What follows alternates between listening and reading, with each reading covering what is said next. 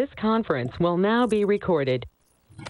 Okay, I'd like to call the Village Board of Ashwaubenon to order for Tuesday, July 25th, 2023. Roll call, please. President Kardoskee. Here. Trustee Service. Here. Trustee Paul. Here. Trustee Zerbal. Here. Trustee Atkinson. Here. Trustee Krieger is excused, and Trustee Flu- Tracy Flucke. Here. Please stand for the pledge.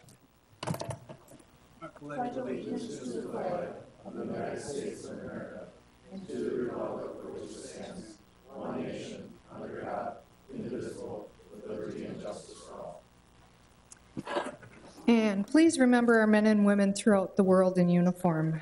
Um, I have no changes to the agenda. I need a motion to approve, please. Move to approve as presented. Second. Motion and a second to approve the agenda as presented. All those in favor say aye. Aye. Opposed? Motion carried. Thank you. Action on the minutes, open and closed minutes from June 27, 2023, and the Special Village Board open minutes for July 11, 2023. Move to approve. Second. We have a motion and a second to approve those minutes. All those in favor say aye. Aye. Aye. Opposed? Motion carried. Thank you. Number six, comments from the public must be limited to items not on the agenda, must state your name and address, limited to five minutes. The board's role is to listen and not discuss the item. Personnel issues cannot be discussed nor individuals named, and the board is not able to take action at this meeting. Are there any comments from the public that's not on tonight's agenda? Comments from the public, uh, not on tonight's agenda? Anybody online have any comments? Okay, hearing none, we're going to move on. Number seven, I have no written communications or announcements. Anybody have anything? Okay, we'll move on. Number eight, oh, this is the fun part. Um, The promotion of public safety supervisors. Chief? Thank you. Again, appreciate the board uh, giving us a little bit of time to introduce you to our newest supervisors. Uh, We had two tests, uh, promotions here. Um, Both the lieutenant and captain processes were conducted. Uh, They both went through uh, a thorough screening. Um, We had excellent internal candidates for this position, both of these positions, actually. So um, it is my pleasure to announce uh, our two new supervisors. First, I'll ask Brady to come up. I'd like them to stand up here with me while I talk about them a little bit. All right, right here, sir. I'll shake your hand. We'll do it, we'll do it again, too. All right. Yeah, yeah. So uh, Brady was hired as a public safety officer in 2008. Over the past 15 years, Brady has served as a paramedic, a field training officer, an explorer advisor, a member of the Brown County Mobile Field Force, and is currently a member of the Brown County SWAT team. Brady has also served in the United States Marine Corps. So thank you very much for your service for that. We're shaking hand on that one. Thank you. Um, with the advanced skills that he has in firearms, he is used uh, by our department extensively um, for firearms and as a DAAT instructor. So with that, we very much want to introduce Brady and congratulate him for his promotion to lieutenant. So congratulations, Brady. Now the fun part, his wife Kirsten will come up and tack on that badge.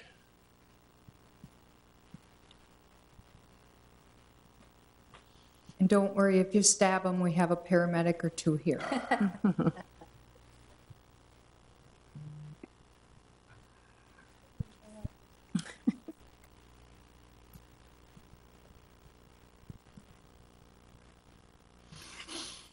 There's no pressure. Nobody's looking. Don't worry.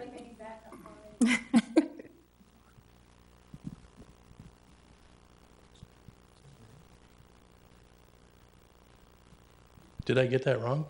Were you, are you Army? Shoot.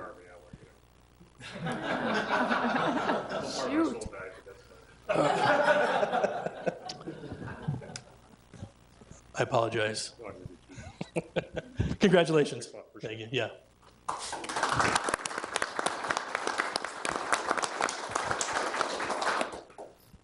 You know, those Army and those Marine guys, they're, they're sensitive about that stuff, so. Uh, next is uh, Doug McDonough, come on up. You hiding back there? I didn't even see you. Yeah.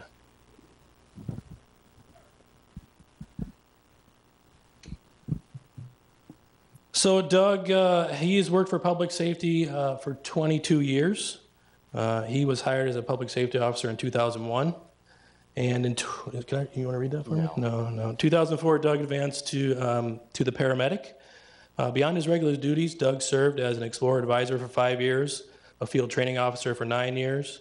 Uh, he has extensive knowledge in the fire operations, and we are very lucky to have him as a fire, uh, fire and firearms instructor. In 2016, Doug was promoted to lieutenant, and he served in that capacity until he was promoted to the captain position. So congratulations, Doug. Thank you. Now, all this pressure that I put on people, Doug has now put it on me to put on the badge. So we'll see if we can do this. So it goes on like this. Right?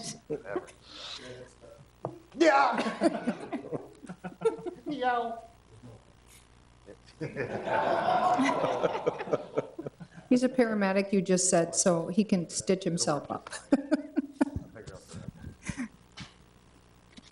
You don't have any military service I can mess up, do you? Yeah. Okay, all right, good. Congratulations, Doug. We appreciate it.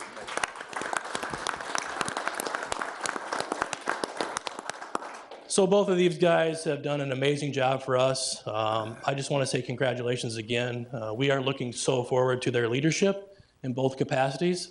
Um, and now you have seen our two newest supervisors. So thank you for the time. We appreciate it. Congratulations again, guys. Congratulations, thanks.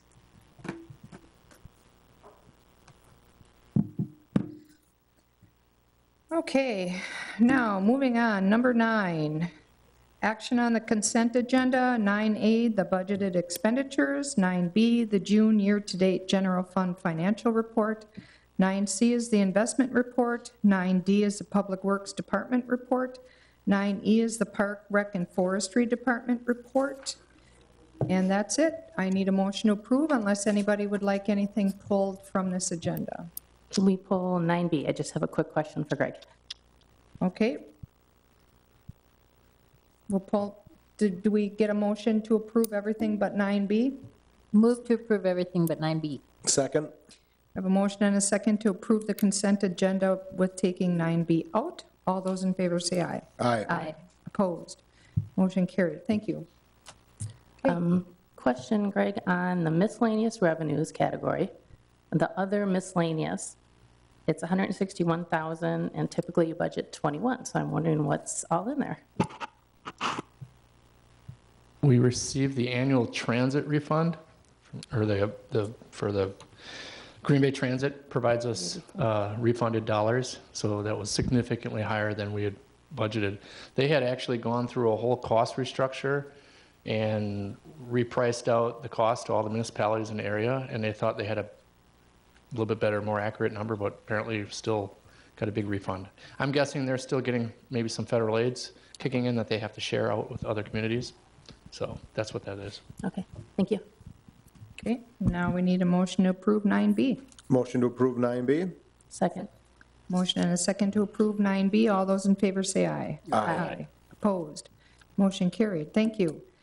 Number 10, public hearing. Public hearing regarding ordinance number 07-2-23, rezoning a portion of 1270 West Main Avenue, parcel VA-L360-2 from R1 One Family Residence to B3 Community Business. Joel, I'll let you take this. Thank you, Madam President. Uh, The requested rezoning is to change the zoning of a portion of parcel VAL 360-2 from R1 Single Family Residence to B3 Community Business. 4K Commercial Properties or CPR Rents, um, as the property owner to the east is in the process of purchasing that portion that is identified on the map on your screen. Uh, and it has historically been used, that land and building, for its business purposes. The requested rezoning will make the B3 zoning boundaries consistent with the new boundaries of that purchase, um, or of that parcel following purchase. Okay, any questions? Looks like it was a five to one vote. What was the objection from the one person who Oh, did. this is the public hearing, so Correct. we'll get that right at the, Okay. at the action item? Is there anybody here who'd like to speak for or against this rezoning, since this is a public hearing? Anybody who would like to speak for or against this? Anybody who would like to speak for or against this rezoning? Okay, hearing none, I need a motion to close the hearing. Motion to close the hearing? Second? Motion and a second to close the hearing. All those in favor say aye. Aye. Opposed? The hearing is closed. Okay, now we'll move on to action items. 11A, action regarding ordinance number 07-2-23, rezoning a portion of 1270 West Main Avenue, parcel VA-L360-2 from R1 One Family Residence to B3 Community Business. Okay, anybody have any questions for Joe? It looks like it was a five to one vote. I'm just wondering what was the objection?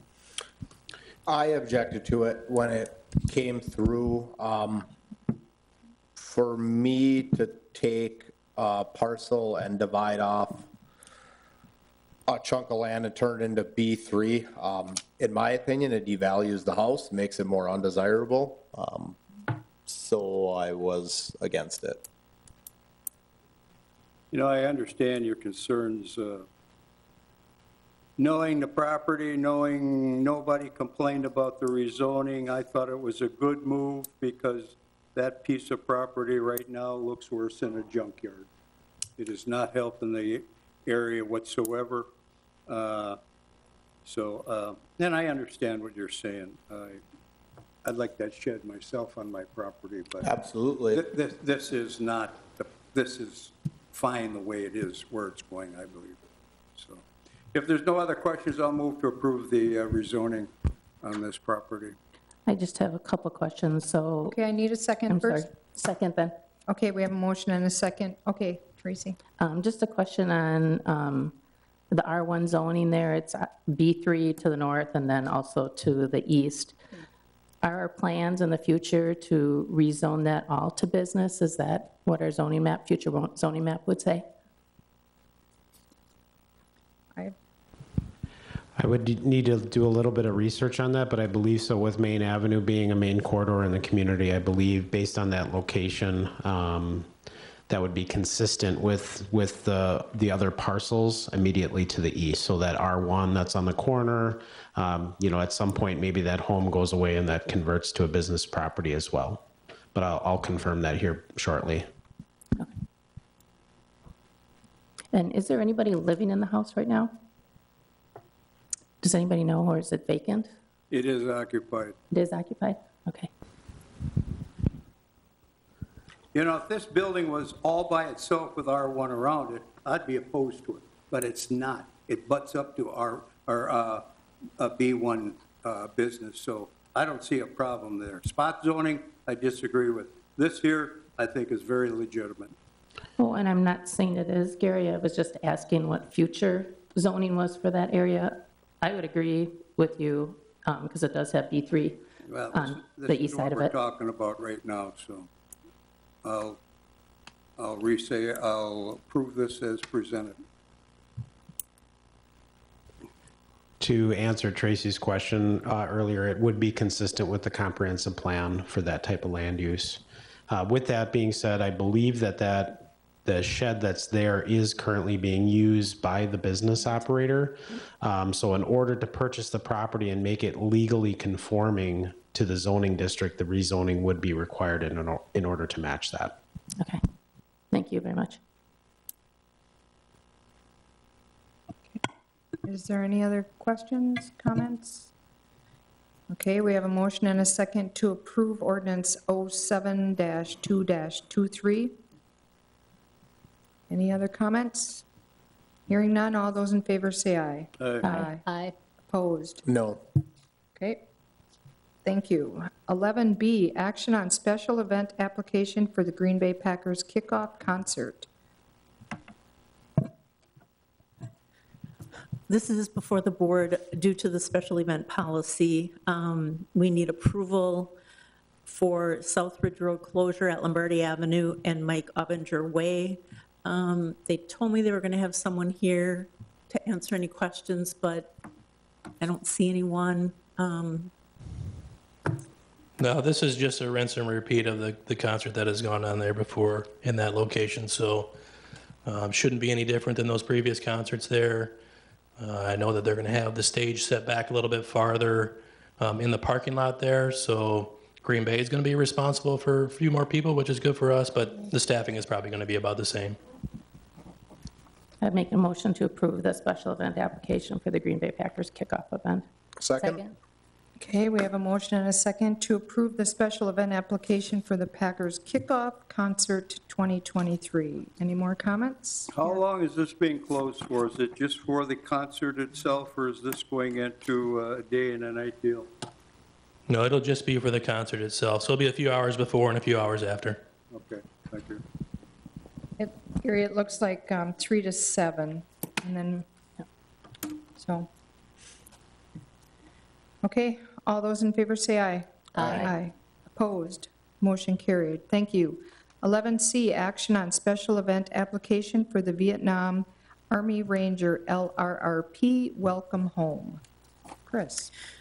Again, this is a special event application, um, and they want to close Armed Forces Drive between Oneida Street and Holmgren Way. And I know that Joe is on the line, and I think he'd like to say a few words. Okay. Since this involves the event, do we need to open the floor? I don't think we need to open the floor, or do we? Motion to open the floor. Second. Okay, we have a motion and a second to open the floor. Is, all those in favor say aye? Aye. Opposed?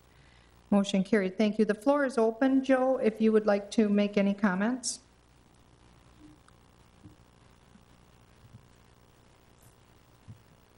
Joe, Joe, if you're trying to talk, it looks like your mic is still muted.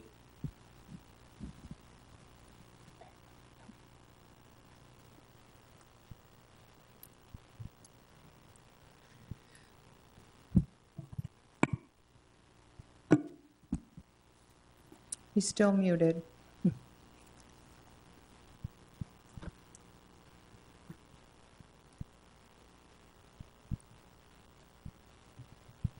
Can you hear us, Joe? I know that he um, included in his packet a little um, summary of what they're doing, and he's very proud of this. I think it's, it's a great thing. He wants to make sure that they know that they, what they did was just wonderful, and to get the welcome back that they deserve. So um, if Joe can't speak, I know that's what he wanted everyone to know. Yeah, it looks like Holmgren will be closed, and maybe Bri- Brian knows it's 1,400 to 1,700, so three hours basically Yeah, that yeah. they'll have it closed for. Um, It does look like a great event. I read all that information, and I'm going to try to get out there to see them come in, but um, I would make a motion to approve the event. Second. Motion and a second to approve the special event application for the Vietnam Army Ranger LRRP Welcome Home. Before we say that, no, Tracy, you said that Holmgren was? I'm sorry, I meant Armed Forces Armed Way. For- Okay, I'm sorry. okay, thank you. I just Yep. want to clarify Yeah, that, so, sorry. okay. um, This Any- is, this is just Armed Forces Way? Just Armed Forces Way. Just Armed Okay. Forces, yeah, we need a motion That's also not- to close the floor. Motion to close the floor? Second. Motion and a second to close the floor. All those in favor say aye. Aye. Opposed? Okay, the floor is closed. We have a motion and a second uh, to approve the special event. All those in favor say aye. Aye. Aye. Opposed? Motion carried. Thank you. Uh, 11D, action on 2023 Ashwaubenon Blast alcohol sales. Rex? Uh, This is similar to what we've done in other years. Really, it's the same thing. Ashwaubenon Blast will be held on Saturday, August 12th. Um, It is confined to Ashwaubenon Park. Uh, It's put on jointly by the Ashwaubenon Alumni Association as well as the village, who are doing all the carnival games and the bounce houses and some of the fun stuff for the kids. Um, We do sell beer at the event, and typically what we do is we bring this forward to the village board and, and, and and get permission uh, via the Alumni Association for the, for the beer sales at the event. Standard procedure, Rex, for how many years? I believe this started with the high school's 50th anniversary, which was in 2015, I believe. 15 it was, okay. All right, move to approve. Second? We have a motion and a second to approve the Ashwaubenon and Blast alcohol sales. Any other comments? Hearing none, all those in favor say aye. Aye. Opposed. Motion carried. Thank you. 11E. Thank you. Consider, discuss, act on Village of Ashwaubenon ordinance number 07-1-23, amending prohibited parking areas. Is that Chief? I can start it, Mayor. Oh, okay, Patrick. Uh, This was a request from Public Safety, in particular the the SROs, to look at um, kind of a a vehicle blocking and a backup, and particularly on Cormier, or at Cormier School. There, there was a bus bump out that was created, um, I think somewhat recently, and there are no parking prohibited signs there. Um, So what the SROs and the principal have seen at Cormier is some of the cars have parked, and then once one sees another car parked, they kind of have a backup and a backlog on that bus bump out, creating an issue for the buses. Um, What this would, this ordinance would do is not only um, uh, limit bus, uh, excuse me, limit vehicle parking on, uh, like bus-only or emergency vehicle parking only at Cormier, but also every other school. So it essentially is in the discretion of the school as well as public safety to determine where uh, school bus parking would be uh, during school hours and during the month schools are in session, um, and then place signs. So this would authorize DPW to work with the schools and, and public safety to post signs, and then obviously enforce if school, if uh, vehicles are not moved um, from those designated areas. So with any questions, I'm more than happy to answer them. Otherwise, uh, staff would recommend approving. Knowing the congestions by all the schools, uh, I think this is a good idea. Uh, I go by a couple of them once in a while, so I don't know why people think they can park anywhere when the buses are sitting there trying to jockey through traffic. So if there's no other questions, I'll move to approve ordinance 07-123. Second? Okay, we have a motion and a second to approve ordinance number 07-1-23. Any other discussion? Hearing none, all those in favor say aye. Aye. Aye. Opposed? Motion carried. Thank you. 11F, consider, discuss, act on fire inspection service contract. Chief? Yep, thank you. Um, So we have, our lead and fire inspector is uh, resigning and moving to South Carolina. So we have uh, a hole to fill. Um, What we'd like to do is hire an outside service to complete the rest of our inspections.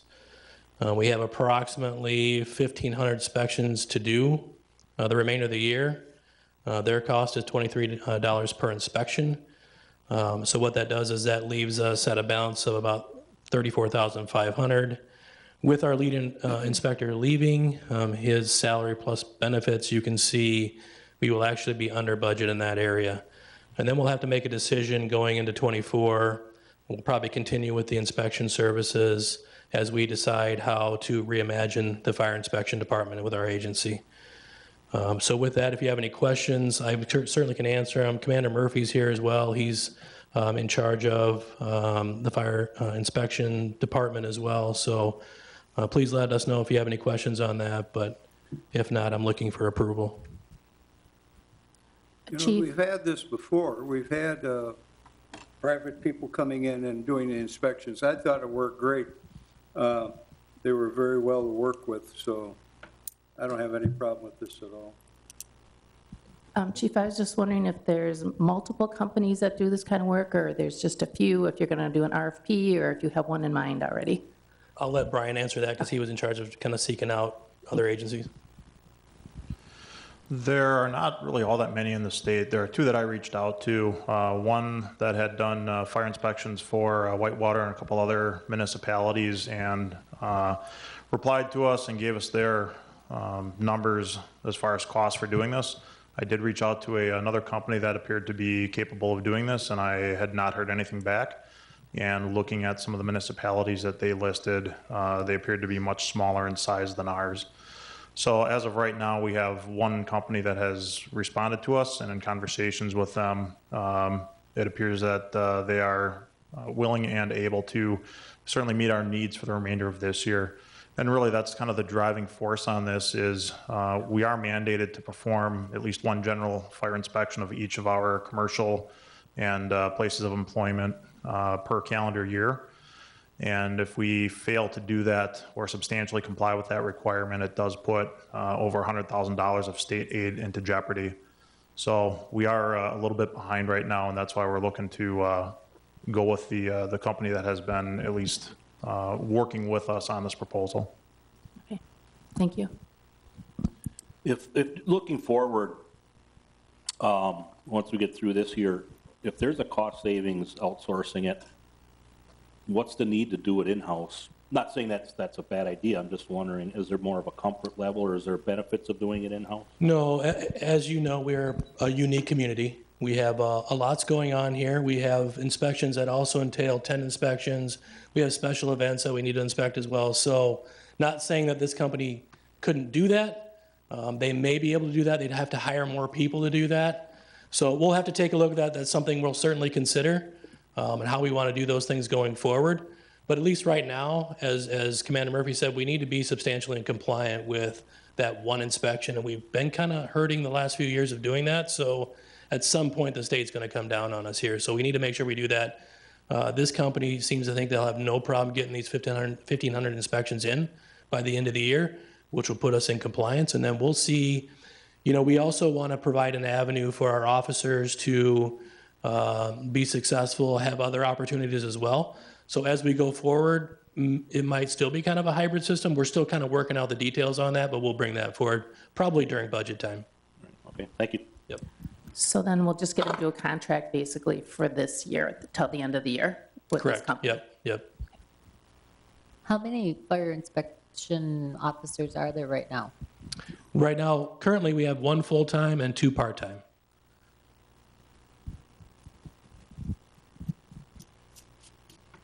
Okay. Any other questions? Okay, I'll entertain a motion. There's no other questions, I'll move to approve as presented. Second. We have a motion and a second to approve the fire inspection service contract as presented. Yeah, All those in favor say aye. Aye. Aye. Opposed? Motion carried. Thank you. 11G, action on mini pumper purchase. Chief? Okay, we have a uh, pretty unique opportunity here to get rid of one of our really old and aging pumpers uh, that we have out at Station 2, a 1993 Pierce pumper. Um, Howard is looking to sell a vehicle that they received on a grant, and then they put about $30,000 in it to get an ultra-high pressure on it as well. So they're willing to sell this vehicle that's worth approximately $225,000 to us for $30,000. Um, This would be a more multi-use vehicle for us. We would still house it at, at Station Two, but it can be used during Packer game days. It can be used as, uh, it could be used by fire inspectors. It could be used as a backup for a CSO vehicle if we need to. We had one go down here recently, so um, we're really looking for a, a better use vehicle, multi-purpose vehicle, um, and this really fits the bill in that regard. When we sell the 1993 pumper, I really don't know what we're going to get out of it. But we're going to get something, maybe $15,000, maybe more, I don't know. But that will go back into the fund, obviously, to offset some of these costs. So the cost of the vehicle is about 30000 probably take another $15,000 to set it up, minus whatever we get for the sale of the 93 pumper. Chief, is this ready to go the way I'm looking at it? Meaning, you don't have to add any more equipment on it? Well, we have $15,000 that we'd have for setup costs. Or you, you do have to modify it to Yeah, well, we got to put, we got to put radio, we got to put graphics on it, that kind of stuff, so, okay. and a, a mobile data computer in it. So that is my question. What, how, why didn't Howard have to put those things on it to use it in Howard, but we need them on? I'll, I'll let Brian answer that because he's been in communication with Captain Staven over there. So as far as equipment for the uh, setup costs, I'd be looking at a uh, mobile radio um, compatible with our mobile radios. I'd be looking at a mobile data computer uh, utilized for computer-aided dispatch and uh, data retrieval and report writing. And I'd also be looking at uh, taking off the Howard Fire Department graphics and adding new ones in there. There are a couple things that are to be determined yet, uh, the radio being the big one. It does have a Howard Fire Department radio in it right now. Um, Howard is unsure if that's going to be included with the vehicle or not. If that is included in the vehicle, that would shave off uh, approximately four to five thousand dollars potentially in that setup cost. As far as the uh, mobile data computer, um, Howard has a uh, older model that is uh, out of date and I believe unserviceable, and that one they removed and are uh, keeping. And the mount for that one as well is not compatible with what we utilize for mobile data computers with our vehicle fleet. Okay. I notice here, it has a new acquisition cost of approximately $225,000, but this is a 2012, according to this. How much, wear- how much wear is on this? And what, what would be the present value of it? Seven years old. Correct. So the the way this vehicle is set up, it is a uh, Ford uh, F-550 uh, chassis. That is actually a uh, 2013. Um, That uh, chassis has a uh, Pierce-built box put on the back of it. uh, That was original to it, so that box is from 20, uh, 2013. Um, And then it has a uh, skid-mounted uh, ultra-high pressure pump system in the back of it that is from 2020. That was applied aftermarket. So as far as the age and condition of the vehicle, we did have our garage staff take a look at it, uh, and they recommended uh, purchase of the vehicle, that there were no mechanical concerns with it. Uh, We did take it for a test drive. Um, It is in good uh, visual shape. It is in good operational shape from uh, what we can tell. Um, And the other benefits with this, and uh, really what we're looking at is long-term uh, usability. The box that's on the back of it can be remounted onto a different chassis at some point in the future. And, uh, and speaking with our service technician, uh, as we research this, the box on the back is about 10 years old right now. If it had to get mounted onto a, uh, another uh, chassis at some point, for example, if this one uh, did happen to develop an issue, um, it could very well be remounted as long as the wheelbase is the same. Uh, and the skid mounted pump on the back could also be remounted uh, with that box onto a different chassis or to a different vehicle, or at some point in the future, if we saw the need, uh, it could be sold as a unit in and of itself. Okay, and then, but being a 2012, it's still, what, nine, nine, 10 years fresher than what we have currently, the one you're going to sell? Correct, and actually, uh, the vehicle that we're going to be replacing with this is a uh, 1993 Pierce pumper, and that pumper is a reserve pumper. We currently have two reserve pumpers in our fleet. The issue that we get with that is uh, maintenance costs. Uh, Every year, per NFPA standards, we do have to do annual pump maintenance, and we do have to certify that that pump meets NFPA standards. That would not be a requirement with uh, the ultra-high pressure. That is a requirement for reserve pumpers. Um, So we don't, we don't necessarily need two full-size reserve pumpers in our fleet at the moment. Uh, Really, one will do us just fine as far as rotating for planned and unplanned uh, fleet maintenance. Um, Really, what this vehicle, what the current uh, 93 Pierce pumper provides us is a reserve pumper out at Station 2 for Station 2 use, and uh, an extra vehicle for uh, shuttling crews around if we need to.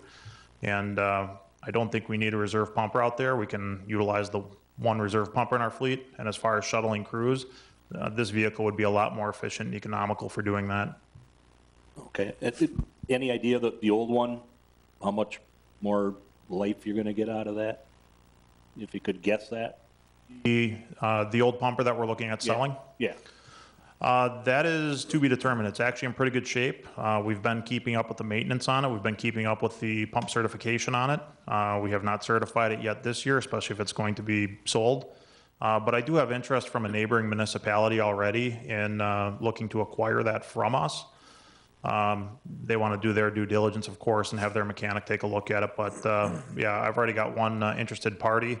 Um, And if that falls through, we can also uh, put it up for auction, um, explore other avenues for disposing of it. Okay, thank you. And, and real quickly to answer your question, I just did a quick search on the closest one I could find was like a 2013 Ford F5 550. This one sold for $135,000. So I, I don't know exactly what it's going to be worth. I'm sure there's going to be some variation, but I think we're getting a pretty good deal on it. Okay, thank you. I would have to say financially, knowing the cost of trucks, you're doing pretty good. Because a 550 bare bone truck, pickup truck, uh, probably sell for that price anyway. So you're getting all your fire equipment probably free then. So I don't see a problem in, in taking an opportunity and buying something like this for the cost that they're willing to give it away. Um, The, this, the uh, uh, area, or the person or uh, area that wants it is a $15,000 out of the reach for them?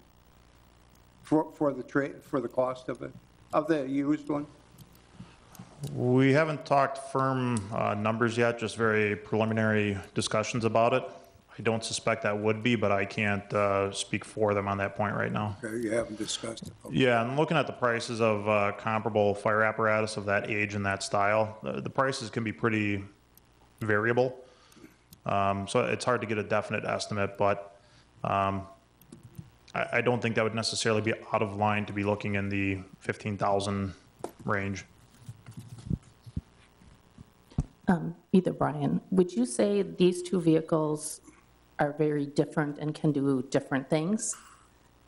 And if so, what are we losing by going to the new vehicle versus the pumper that we have right now? What kind of capability, I guess, would we be losing?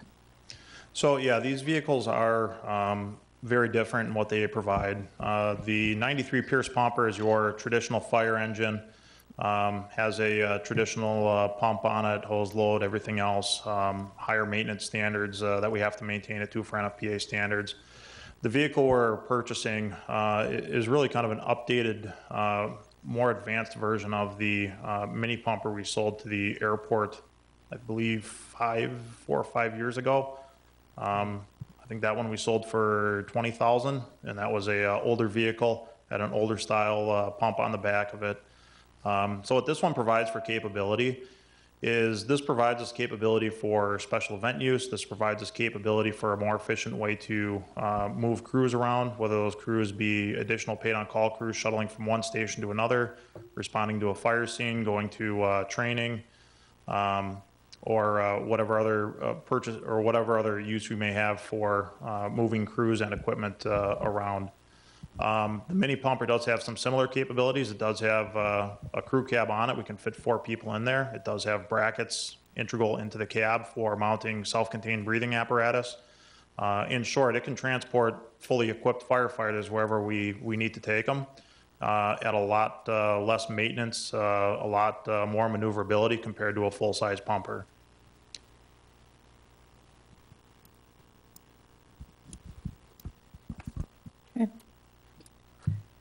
Good discussion. Okay. Um, One of the things I did want to ask, whenever a fire apparatus leaves the garage, you have to have X amount of people on it. Does this require the same or no?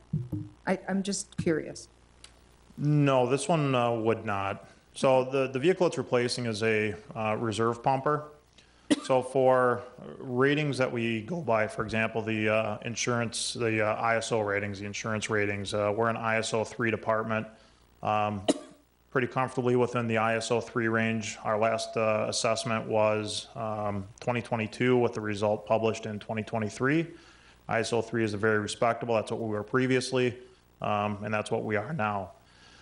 With those ISO ratings, they do look at your frontline fire apparatus fleet and how you staff it.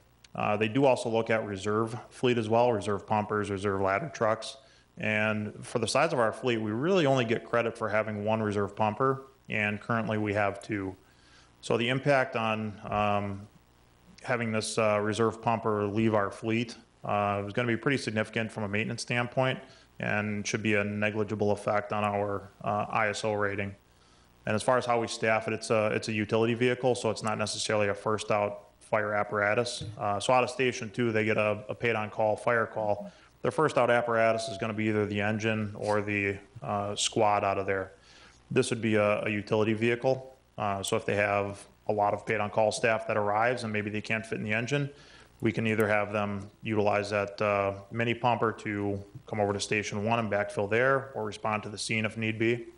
We can utilize it for uh, special events. It's a lot more maneuverable for Packer game days or Art Street or any other similar type event. Um, And it has a uh, capable pump on the back that Howard has used successfully for uh, car fires, small fires, similar to uh, what we would use a mini pumper for.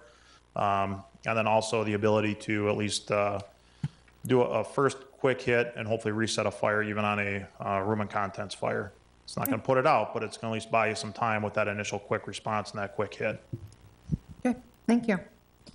So if I'm understanding this correct, the difference between the two vehicles, one would be the new one that you're looking at getting, or the one from Howard, would be usable for a lot more than the pumper is. You wouldn't take the pumper and go to a, s- a class or anything. That would not be something you would use it for. So you have a lot more flexibility with this new vehicle and to be able to use it in a lot of different ways. Is that a fair statement? That's for- completely fair, and that's our plan with it. Yeah. Move to approve the mini pumper purchase. Second? Okay, motion and a second to approve the mini pumper purchase. Any more discussion? All those in favor say aye. Aye. Thank you. Opposed? Thank you. Motion carried. Okay, 11H, action on vehicle purchase pre-approval. Chief? Yeah, it's, it's all me tonight so far, I think, I don't know.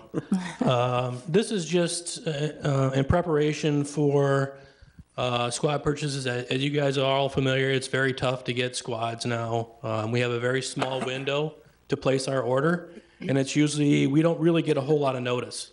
So what we're asking for you is for, I guess, a commitment for 2024. When that window opens, which we, we expect it to be any time now, that we could place that order for three additional squads for next year.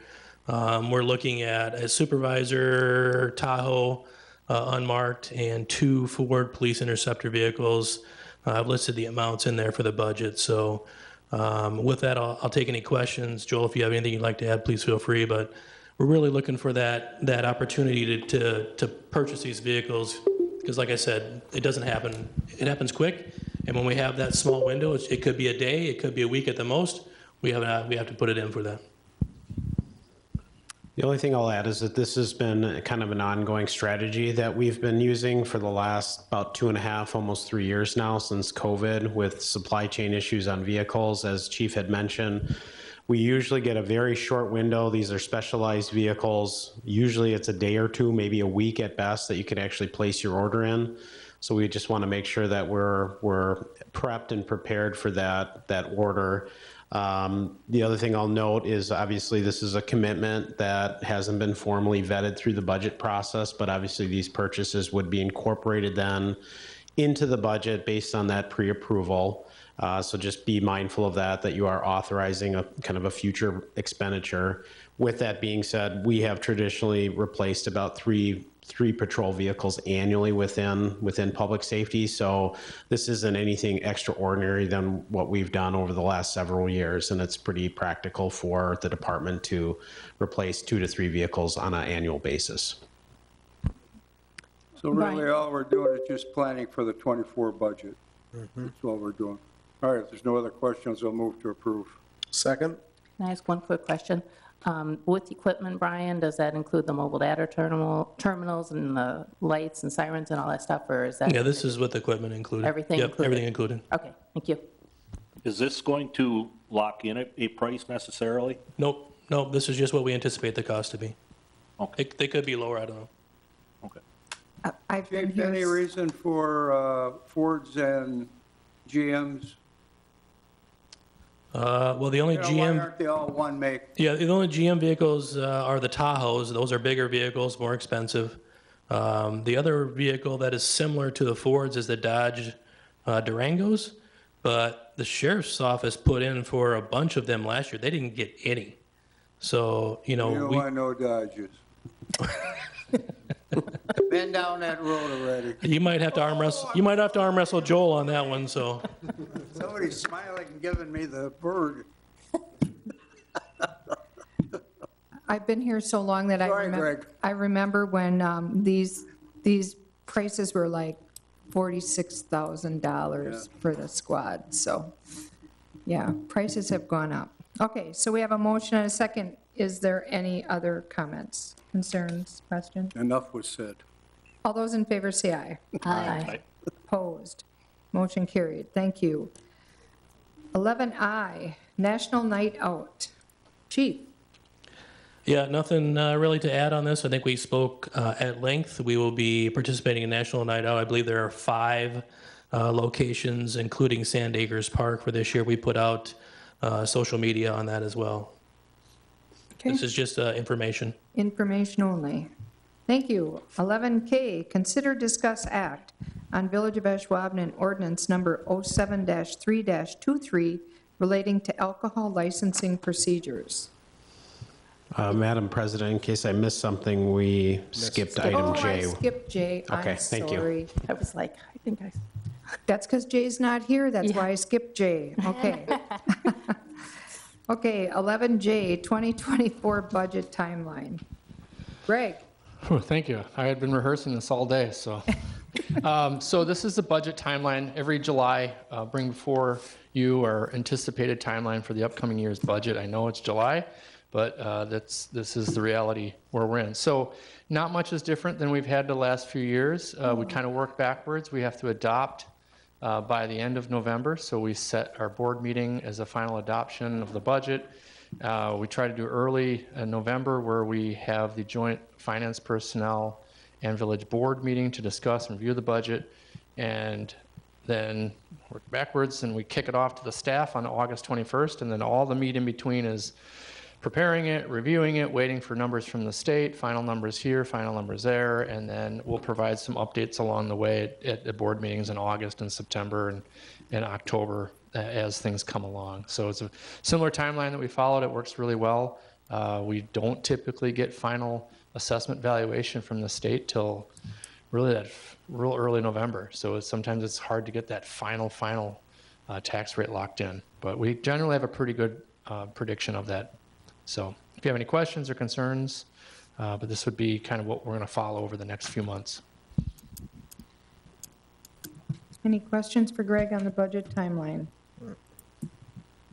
Okay, basically that was information only. Thanks, Greg, for putting that together.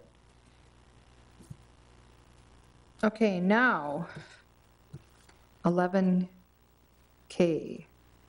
Consider, discuss, act on Village of Ashwaubenon ordinance number 07-3-23 relating to alcohol licensing procedures. Okay, Patrick. thank you. I think this is just easier for me to kind of discuss it from this location rather than there and just Where did he go? going this way. Um, So if I'm just going to share my screen really quick with everybody. Um, This might be a slight overview from what we discussed um, uh, at the bo- or committee meeting um, in June. Um, If the board remembers that back in March, uh, staff brought forward um, an ordinance that had somewhat of a uh, condition on granting the liquor licenses here in uh, the village. And there was a uh, send, or the motion was to send back to the village um, staff to revise the ordinance, plus have somewhat kind of an overview um, of the alcohol licensing and how it would apply uh, to this ordinance in general. So again, um, so feel free to, to interrupt at any time during any questions. This is kind of a short and condensed version of what I presented at committee. So I'm just going to kind of do a brief overview. Um, And again, on the timeline of this ordinance, uh, in March, this was submitted um, as, uh, it it went forward to committee, and there were some issues with how the ordinance was defined. That There's a restaurant definition in there that the board had concern about, that they would like some revisions to. Um, And the, and obviously, the, this request for somewhat of a presentation regarding this ordinance. So it was recommended for denial committee, and then a board, that was when it was sent back.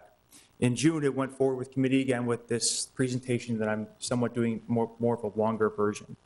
Um, The staff did not bring it in the June board, just because it was pretty packed at that June board, and this would have maybe taken a lot longer for discussion, so we felt that might be more appropriate for this uh, revision in the ordinance and this presentation to kind of come forward tonight. So the basic, I want to go over just kind of the basic licensing and where this kind of, where this would apply to. Um, uh, Sorry, might, this font might be a little small, but basically in the village, there's two licenses that we prim- primarily deal with. We're talking about Class A licensing and Class B licensing. So when there's a Class A beer and liquor license, think of, a think of buying your alcohol, your beer and liquor at your store, grocery store, your liquor stores, your gas stations, and you're leaving with that alcohol. You're not consuming it there. That's your Class A. Whereas a Class B, you're buying it there and you're drinking it there. Think of your bars or restaurants. So under two categories, you have a Class A beer and liquor, and you have a Class B beer and liquor. So Class A, you're buying it, you're leaving. And then the Class B, you're buying it, you're consuming. Class B bar. Think of it that way. And then Class C, there's somewhat of a different uh, licensing requirements, but that is again what the village, this is what the village primarily issues. Class C wine license, Class B beer, and then Class A, uh, excuse me, Class B beer and liquor, Class A beer and liquor. So quickly, the village of Ashwaubenon on licensing quotas, some are uh, mandated by the state based on population, some are mandated by the ordinances. Um, As a Class A liquor, the village um, has an ordinance that the quota that we have currently is 16 premises where you can sell Class A liquor. Again, going into the store, buying your spirits and then leaving with it. That's your Class A liquor. So we have 16 right now. Um, And then there's Class A, just the beer. Again, going to store, buying your case of beer and leaving with it. That's your Class A beer. We don't have a quota on that. That is unlimited. That's the same with the Class B beer. So right now, there's no limit on going into, I guess, just uh, an area where you want to just consume beer, and that's it. No, no liquor attached, just beer. That's where you're going into an establishment and drinking it there. And the Class B liquor, that's not an option for the village. That's uh, set by state statute, and that's by uh, population. Um, As currently, right now, correct me if I'm wrong, Chris, we're at 33, I believe, and we're, I think, at at capacity. I believe we are, our quota for issuing the liquor license, the regular liquor license, is is 33. Um, And then there's also, moving on, there's also what we call reserve licenses. So the 33 liquor licenses is set by population, and then there's three reserve licenses. And these reserve licenses are kind of primarily the more, more expensive ones, the $10,000 for a liquor license essentially. And then in addition to that, you have your Class B uh, liquor exceptions. Whereas the, the purpose behind this is for the state to say, well, if there's kind of an economic impact that this person wants to provide for community, why be limited to your reserve? Why be limited, why be limited to your quota, of 33? So if you're going to have a restaurant with 300 permanent seating, there, there's an exception in the state statute so you can get your liquor license. If you're going to have a hotel that has 50 or more rooms, or it has a, uh, a restaurant or a banquet attached to that, then that's an economic impact for that community, we can have your liquor license. And again, the other one is an opera house. There's a lot of other detailed ones, but this is kind of primarily the more popular ones you have. So again, these exceptions are after your quota has been met. So we can only give these when the, when the quota is, has been met. So right now, Ashwaubenon is at its quota. Believe so. I, th- we do not, according to our village clerk. So I'm not sure you can fill in. We have one, one regular, which has to go first, and then we have one reserve. So the reserved and the regular both have to be gone before we can do the exceptions, correct? I or no? just the regular. Just the regular? Mm-hmm. Okay, Right, so we'd just have the to have the regular. regular, but we could have some reserves and we could still do the exception one. Right, because that's totally different. The mm-hmm. reserve is 10,000 plus the liquor license cost. So just so you're aware of that. Is The it exception? 10,000 a year or 10,000 No, one time? that's an initial, it's non-refundable. When it first, the law changed, um, we could refund. Now you can't refund it, and it's not transferable. And then isn't there something about buying them from neighboring municipalities too or something? Yeah, there's, um, go ahead, if you want. yeah, there, we, we have an agreement, um, where there's some on reserve, basically from a neighboring community where you can have, as long as it's somewhat of, um, uh, within a a certain amount of miles and that's contiguous to the, to your municipal boundaries, you can purchase, I think, up to three from them. Um, Kind of on demand, not all at once. If one is available and we need it, we have the option to purchase it. So those are reserves also, and those are 10,000? the Ones Yes. from another municipality. Um, The exception ones, is there a 10,000 charge for that too, or no? Is that the standard cost for those? We don't charge 10,000 for that. Okay. Just That's the just a regular regular fee. license? Okay. Right, As long as they meet those criteria? correct. Got it, Yes. okay. Thank you. Questions so far besides those? Um, Okay. Um, So how the licensing procedure works in the village thus far is an individual submits their applications, and then the staff does a vetting, uh, thorough background process um, as to uh, making sure they're uh, allowed to, uh, well, sell certainly, get their, all their permits and licensing, licensing within the state. They have, um, they pay their fees, they have proper background checks, they're allowed to, I guess, they're renting from the part, from that establishment, or they're, uh, they're actual owners.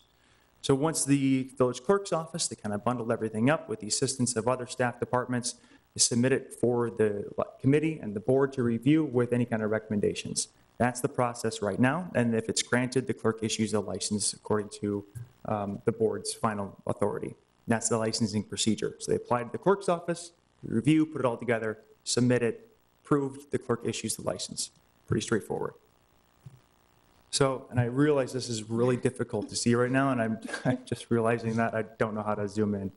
Um, That.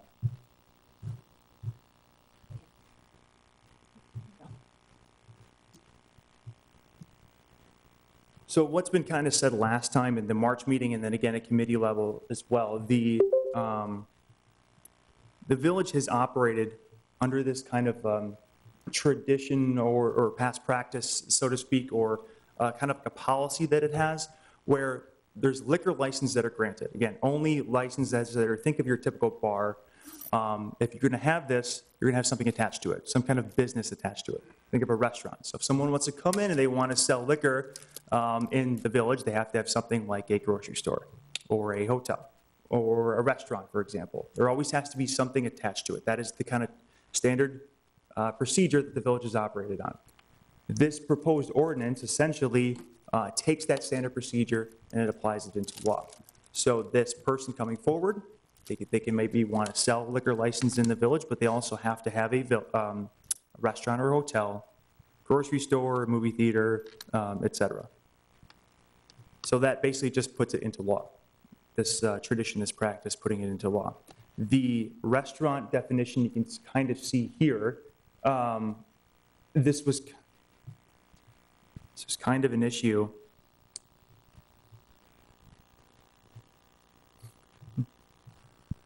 This was somewhat of, um, this was referred back to staff at last time. The staff did have a restaurant definition in that the board was uncomfortable with. We had a 50% margin for food sales. So if the board recalls, we had a restaurant definition that said, your food sales must be 50 plus percent of your overall sales. And there might be some, you know, arbitrary reason why that was, but basically the staff revised this and they, they kind of combined um, different areas in the state statutes and we kind of created our own restaurant definition.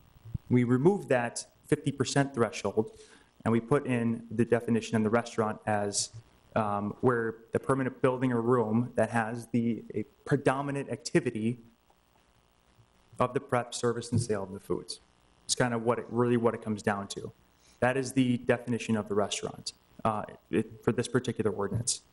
So again, the ordinance would say that no Class B beer or liquor combination license can be granted unless someone has one of these additional things attached to it. By law, you can't even have discretion. The board doesn't have discretion. The board has discretion whether to determine if it's a restaurant or not, or maybe if it is considered a, I suppose, um, a club or society or lodge or or so, but they won't be eligible for a liquor license unless they have one of these. Where, the- where's this list come from? It comes from the state statutes under Chapter 125, 32 sub 3M. So there still is discretion, but essentially there's an eligibility um, limitation for applicants.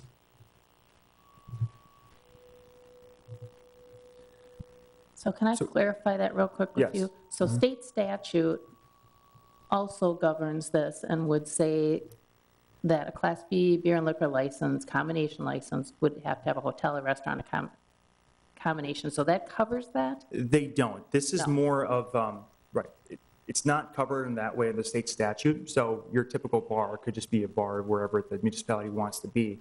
Um, This is um, found under this subsection as kind of a, a list where um, if you're just operating as a, um, excuse me, this was provided by state statute as something like you have to have an additional business if there's something um, um, else that might not, uh, like a Class B uh, beer license, Chris, uh, correct me if I'm wrong. I think that's, there's a, a business component attached under this statute, I believe. It's, it's allowing these other businesses to have it. Right.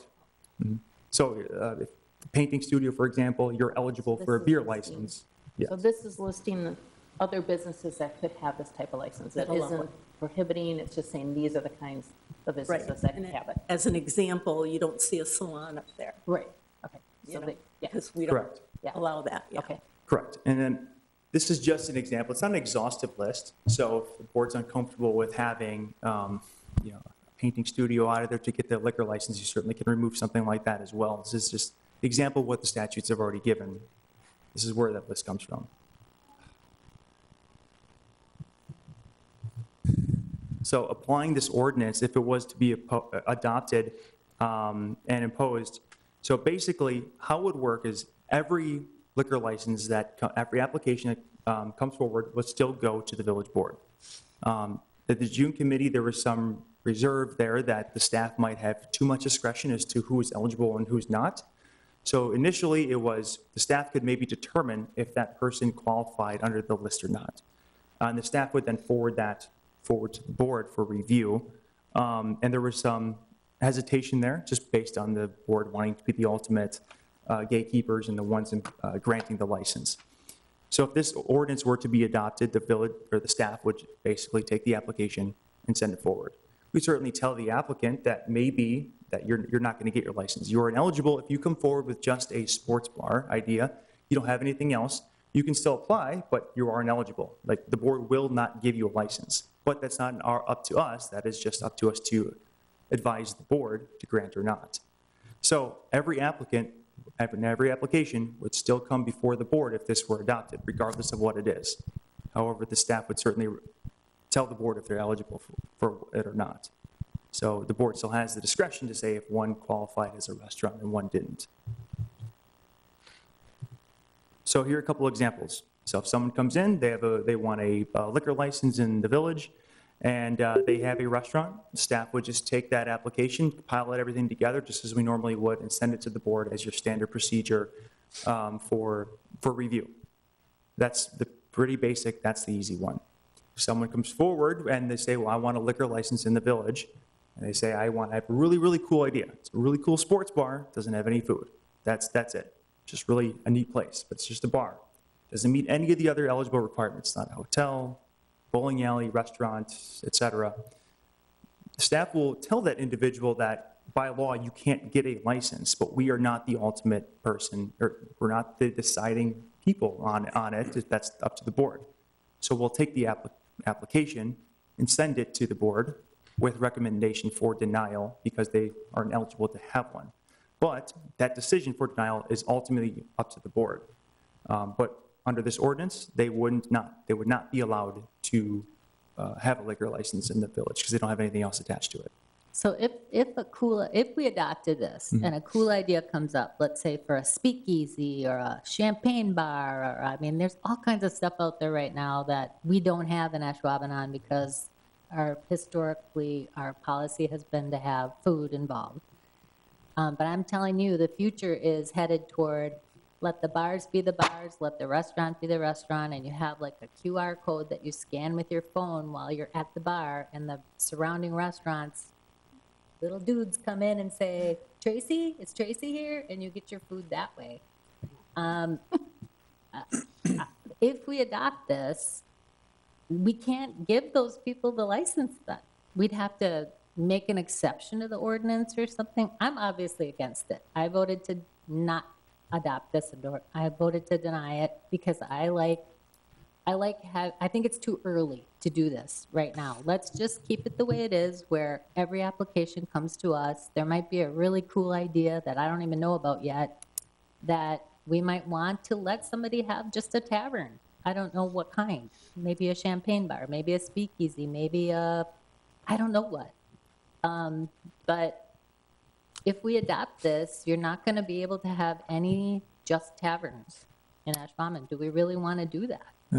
Correct. I mean, it would be inadvisable to make, start making exceptions, I mean, uh, to that if if it doesn't meet the definition. We'd change this ordinance or redo something. Let's just Right. not adopt it. Don't have the staff say anything about historical practices. Just bring every application to us and let us have the discretion to decide, do we want to give this applicant their license or not on a case-by-case basis? Yeah, That, that's, that's very fair. Right, that's absolutely, you can do that, still within the board's discretion. Um, Then that's, that's completely fine, to keep it as status quo. Um, The, if there is one that's close, right, if, if, let's hypothetically say this were adopted, and an applicant comes forward and they have something close, to speakeasy with maybe some food, maybe not, do they really qualify as a restaurant, do they not? I mean, um, what's up with this QR code scan stuff and um, wristbands and and whatnot? the, the staff would have no um, input on it whatsoever. Like if this, if this were adopted, they would just, staff would just pile everything together, bring it forward, and it's up to the board to determine if it's a restaurant or not. See, Again, if I it don't- I don't think that makes sense. I mean, if we have this ordinance that says if you don't have a restaurant, you can't get a license, why would you even present it to us? You guys just screen them, and if they don't have a, lo- if they don't have a restaurant, why waste our time? That's the part I don't like, though. You know what I mean? We don't get to see it then. Otherwise, if you're going to have the ordinance, enforce it. If you're not going to have it, then send everything through to us. And we certainly can. And I, I just, I rec, I kind of put that alternative in there because the committee, I know the committee didn't have, was not comfortable with the staff screening them. We Right. certainly can enforce it, and if it's close, we'll absolutely send it forward. Um, I mean, getting the, the uh, the indication that it's this not received, so I don't want to spend too much time on it, right, this, this close and what's not. But the staff's not going to necessarily have any input in determining what that is. I That's think up- it gets completely up the murky board. with which ones should we send, which Sure, ones shouldn't we- absolutely. shouldn't we? And I also think at, at the committee level, there was a concern also about if we're going to have this requirement that you have to have a restaurant and it's in, it's in the ordinance, now it's part of the code, who's going to enforce that for the people who already are out there with liquor licenses? Because there are restaurants, bar restaurants out there that it's, it's going to be iffy. I mean, do they have a full-service restaurant? What's the definition? Are we going to have like a compliance officer going around and checking at Urkel's and D2 and Anduzzi's and the bar? And, I mean, a lot of these places, I mean, their restaurant closes at nine. I've been Right, to a right. lot of them, okay? And they're open till two. So it's like, If, if I could just add some context to the conversation a little bit and kind of tie into some of the conversation as it relates to who reviews the applications, who ultimately approves the applications, and so on and so forth. And I'll kind of walk through it to, to your last question, uh, Kelly. So first and foremost, statutes require the village board be the authority that approves or denies a license application for this regard. So unlike an operator's license, we do not have the ability under statutory law to as staff, approve or deny. Whereas with an operator's license, there is a carve out within the statutes that allows the uh, municipal board to delegate that authority to staff so long as they meet certain criteria requirements, background checks, so on and so forth. So like Chris can issue an operator's license if they pass their background check and meet all the conditions of the application. But that's done by design, both statutorily and then by adopted ordinance. So the board has passed and delegated that authority. With licenses like a Class A or Class B, in particular Class B combination license, the board always has to approve that license. I do not believe that there's a carve out within the statutes that allows you to delegate that authority to staff. So I think what Patrick is, is suggesting is that if an applicant were to come, and let's say the board adopted the ordinance that required the restaurant provision on a combination Class B license, what staff would be doing is forwarding that on to you to, as a board with a recommendation for denial because it doesn't meet the legislative intent that you had created through the ordinance, if that makes sense. So you, the board ultimately adopts the policy. It's your policy to administer. We're here as your guide to let you know that, remember, board, you adopted this ordinance. It says you have to have a restaurant. Here's the definition. Therefore, staff is recommending denial based on your policy. When an applicant comes in, in the event that that policy or that ordinance has been adopted, we advise that applicant at the forefront saying, hey, look, you don't have a restaurant. Our board is required under its code, a restaurant, whatever that definition is, you can continue to apply, that's fine, and it will be presented to the board as is, as is required under the law, but just be advised, it, it's likely to be denied because it doesn't meet the conditions of its code, right, of the board's code. So I think that's kind of the context that we would have. Backing up a little bit, a lot of this conversation stemmed from the, from a prior applicant for uh, a facility that was being viewed as kind of just a bar. And there was a request by the board at that point that, boy, this license would be uh, pal- more palatable, if you will, or more provable in our, in our eyes if they had a full-service restaurant because in the in the past that was required or requested or uh, uh, definitely weighted in consideration on the issuance of a license. So that's kind of where we took it as staff is we were given, albeit somewhat of a loose direction from the board to come up with something that would give us standing or footing to be on in the event another applicant like that previous license request came in would be presented to you. Then you would have some firm footing to say, no, we're going to deny this application because it doesn't meet the restaurant provision. So that's, that's where that is. Uh, Ultimately, it's still your decision as to whether or not legislatively you want to have that requirement. Um, As suggested, if the requirement's in the code, it limits your, your ability to discern over an applicant. If it's removed from that, you have a greater degree of um, discretion in determining whether that license should be issued based on its operations. Again, so long as it's meeting the statutory requirements. As far as enforcement goes, your, your question is, is spot on. Would it require additional enforcement than what is present today? Probably not. Um, But in order to maintain compliance, it would need some type of inspection. Uh, And then in addition to that, even if they were violating the ordinance as it would be written for restaurants, it would still require us as a municipality to go through a revocation process then in order to remove the license. And that can be a rather cumbersome and and clunky process then at that point. So it, adding some additional weight into that is really comes down to what is the impact or outcome that you want to achieve by creating this provision within the code? Do you only want like rest, combination restaurant bars in your community? If so, I would recommend enacting the ordinance. If you want to have the ability to have discretion and determine on a case-by-case basis whether or not a place should have a full-service menu or actual waiters and waitresses working in the restaurant, um, then I would say leave it out because now at the present time you have that ability within your approval process. I- From when I sat in that Public Works meeting, and I, and I mentioned this to, to Joel and Patrick before, I think the concern was that the board doesn't have the ability, if, if, like Kelly says, something really cool would come, that we, you can't issue it if you pass the ordinance.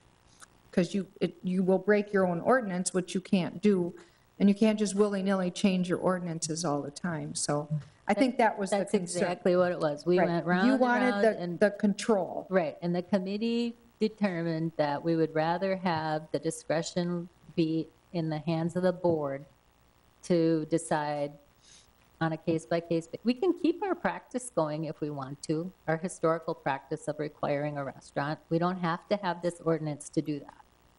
And, and if it turns out, let's say we do a, well, let's say we approve a bar, we approve a speakeasy, and then we approve a champagne bar. And now we think, you know, two is probably enough in a community of 17,000. We can adopt this then. It doesn't have to be now, is my point.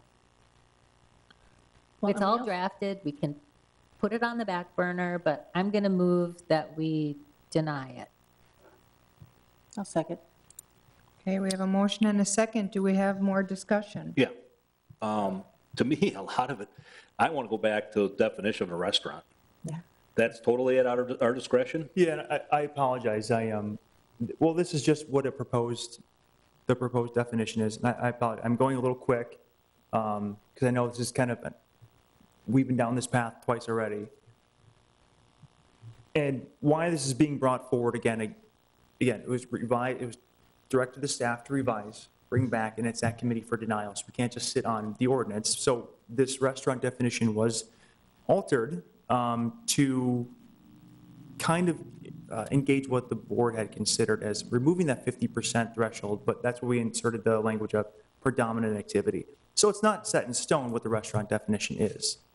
And it certainly can be amended again if it's revised So back. what, So here. because it, it was all cut off, chopped up last. So what is right now the definition of a restaurant uh, uh, proposed here? You want me to read it to you, Chris? Yeah. Okay, verbatim. The, restaurant shall be defined as a permanent building, room, or place at which the predominant activity is the preparation, service, or sale of meals to transients or the general public, primarily for the consumption on the premises, and which has sufficient staff and seating for the volume of food sold and customers served. And does not include snacks, soft drinks, um, ice cream, milk, drinks, ices, or confections, like sweets and candies, things like It that. does not include, Does not include that. So, right, you're, think of your typical, like, if you want to come in just for maybe, all right, I want uh, just a pretzel, please, and uh, vodka tonic, or wha- whatever, gin and tonic. You- That that wouldn't be considered a restaurant if it's just like a very bare bones um, finger foods, I- i- in my opinion, according to this definition. okay, frozen pizza. I mean, we, we could play with hypotheticals a lot. I mean, I would consider something to be full service. Menu, uh, wait staff, um, sufficient to support the customers. So things like if, if it's just, depends how many finger foods you have. And again, this is where the board's discretion is going to come in a little bit. If I'm not, we are not going to be the ones to determine if that meets the definition of a restaurant. I can give you my opinion of it, on if it does or not, but the board's the one that's going to be the ultimate authority to define, make sure it's, it meets the definition on here. So if you have frozen pizza with, you know, 10 other, I guess, finger foods or- or appetizers or something, along with some wait staff or- or whatnot, and the board feels that's, that's comfortable in their, their eyes to meet the dis- um, restaurant definition, that that's predominant activity of the selling of the food, by, by all means, that, that would meet the definition. So I, I'm not quite understanding what's changing from the proposal to what we had before. as far There's as a, the there's a restaurant. 50% threshold. There's a 50% threshold, and then this was add, some of the language is added for somewhat of a more full service, where there's the preparation, this, uh, and, and the sale, as well as enough staff to meet your capacity for the food and the customers served. So the difference is 50% to the word predominantly. Um, That was added, yes, I mean, yes. I'm, I'm for some reason not grasping the difference between The between. board had a a concern last time where who's going to check the sales receipts? You're going to go to the DOR and, and ask for receipts to make sure it's 50%? Are you going to go into the Anduzzi's or the bar right now and make sure theirs is 50%? And, and no, I mean, that's kind of up to the state. That's not necessarily up to us. So this, so Um, this gives a little more leeway. It, it does, yeah, in the sense of, well, we're not going to go in and regulate if it's a, there's, there's a 50% threshold. Where did that come from? That, that wasn't arbitrary. That's, if you want a wine license, you need, that, that's, you need to have 50% or more of your food sales. So that's for a wine license only. That's by, where we got that's by that. state, right? The wine one? Yes, it is. That's where we got that. And that was incorporated first, but that 50% was just, how are we even going to regulate that? That was uncom- un- uncomfortable. And there were some comments as, comments as to, um, well, significant sales or the majority of. And I said, well, let's take out sales, just that alone. Let's do predominant activity of everything combined.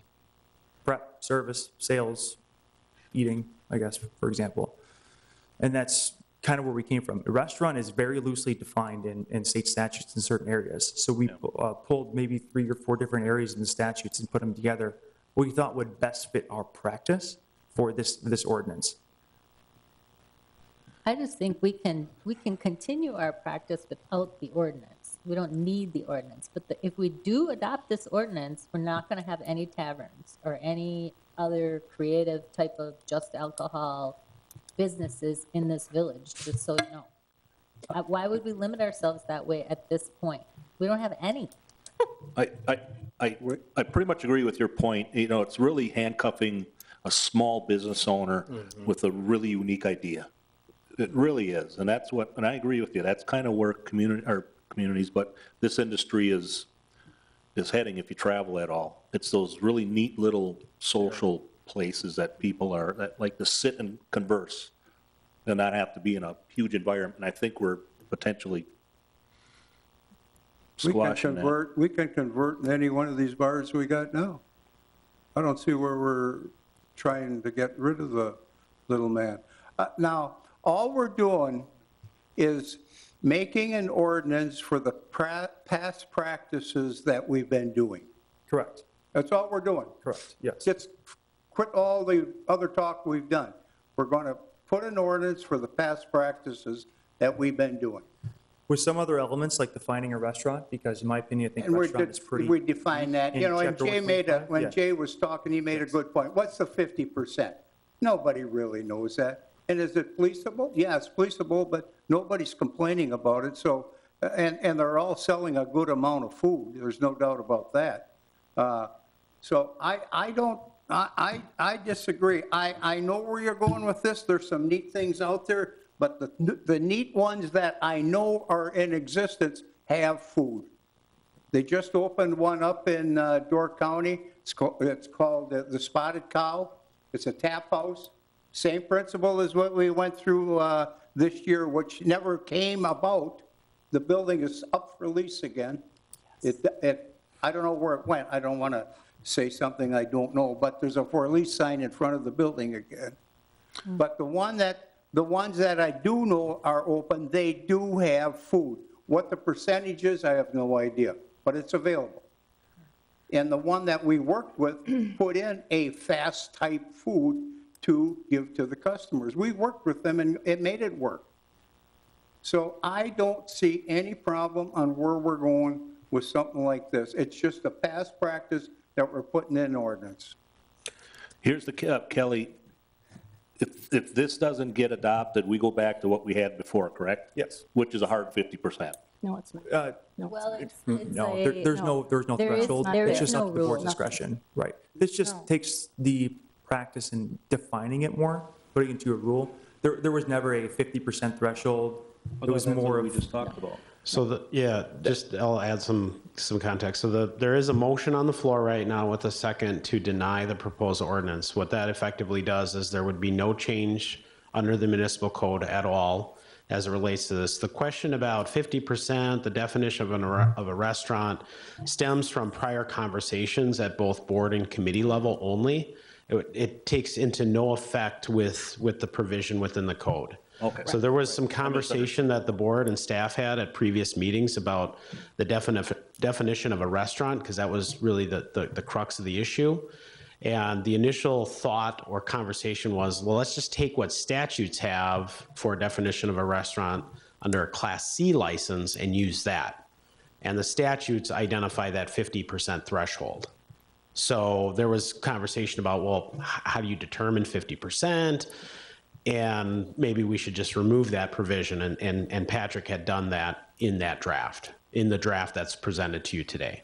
So the 50% regardless is not in the proposed language, even though it's, uh, has a motion for denial anyway, just not to add So, any but- confusion. so it wasn't in our past ordinance? it's, Okay. right, yeah, Chris, think- it- I there's no think- 50% in there right now. Okay. Yeah. I think that the concern, what I, what I felt at the committee level was that it takes the discretion away from the board. You will not ever have discretion.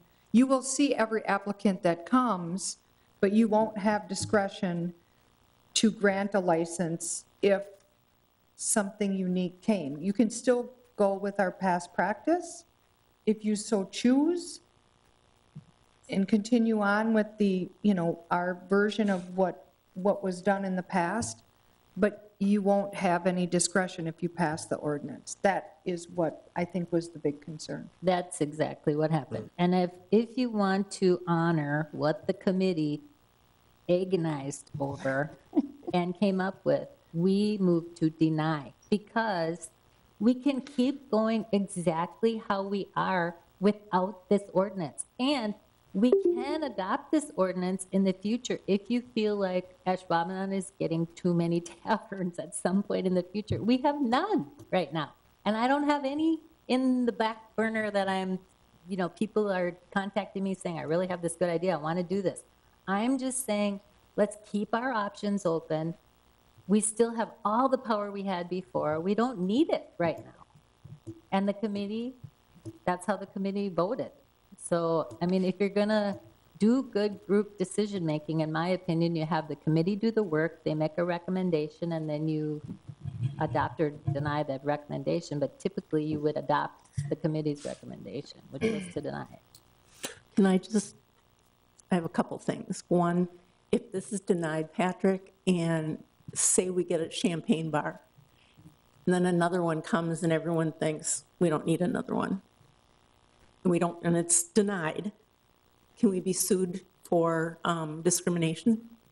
Um, Well, discrimination would just depend on the applicant and who it would be.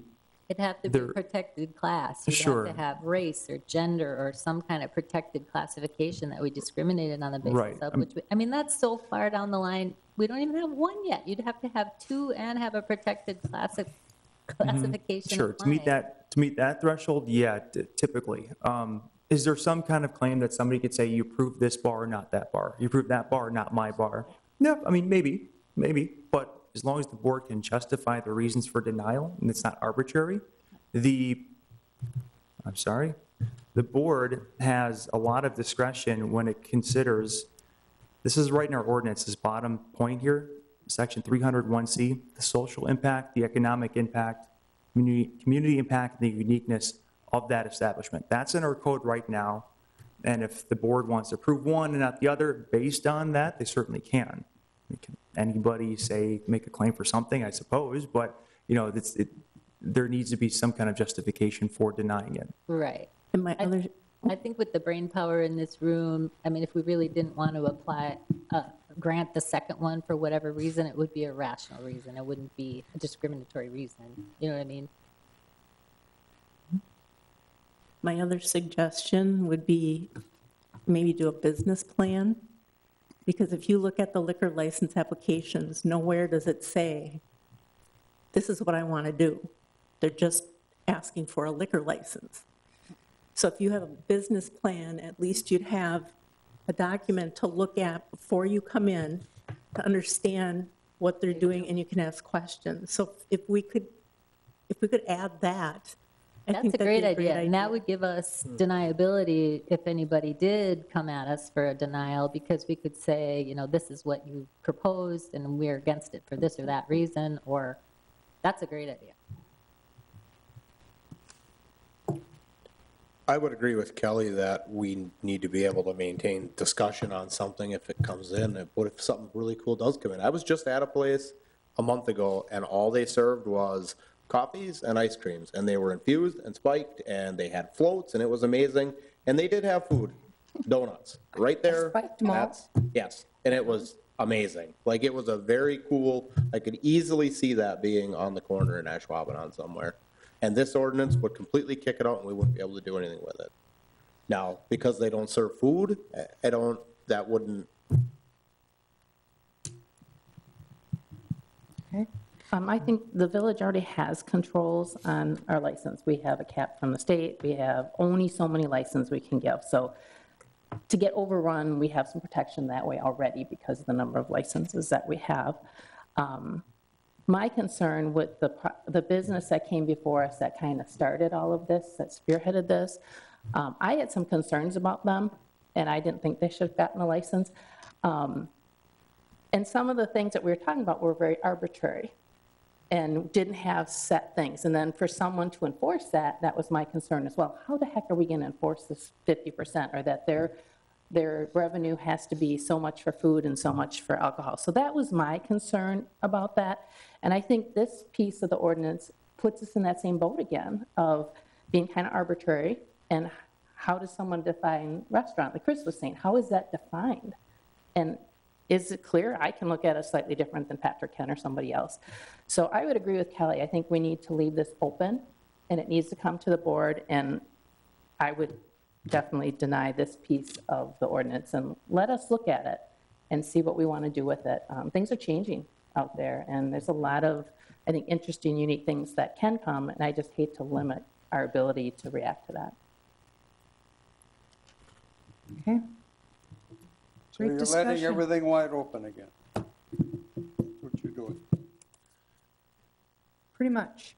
Well, we can, we can have past practice, Gary um, Right. of, of, you know, But without an ordinance, anything can come in front of us, is what Kelly's wanting. right. Yeah. Well, and that's, everything has come come in front of us before. And, you know, what, I, I think the conversation is that um, they just want to see everything and the board make the decision, not an ordinance that we put into place that two years from now, something cool, like the spiked milkshakes can't come before the board. Mm-hmm. So, or we can't, we can't approve it. So, anyway.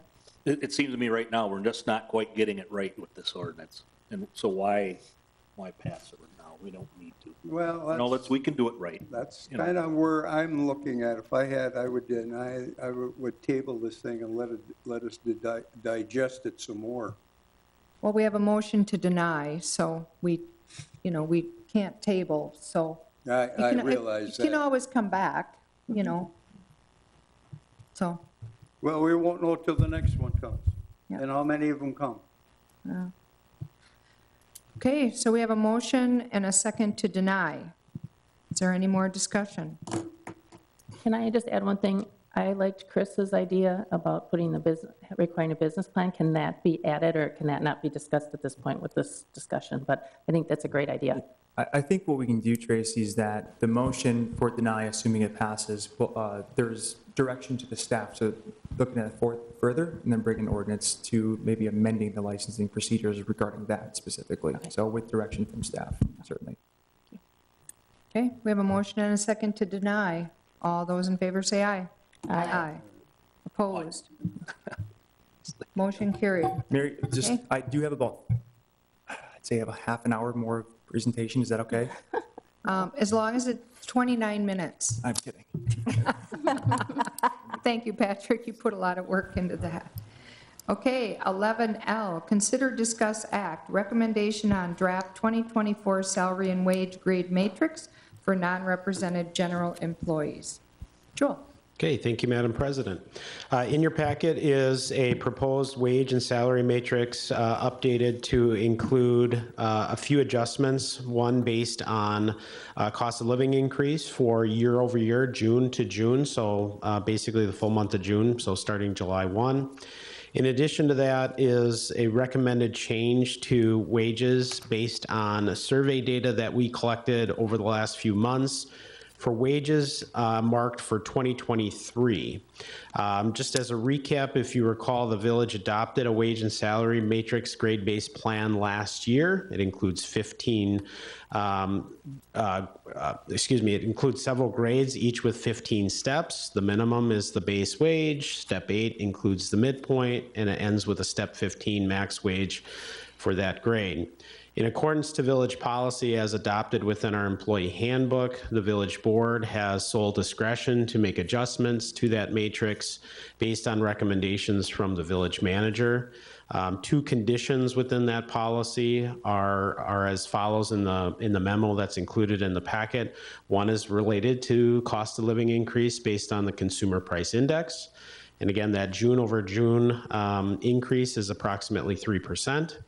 In addition to that, based on um, market conditions and, and in order to maintain competitiveness with current wages and competing municipalities, uh, the village has the ability to adjust the matrix to reflect those competing interests and challenges. And so village staff has done that as well. And you can see that in the draft matrix in what would be the blue column each graded position has an increase adjustment proposed at either one and a half up to 3% per, per wage.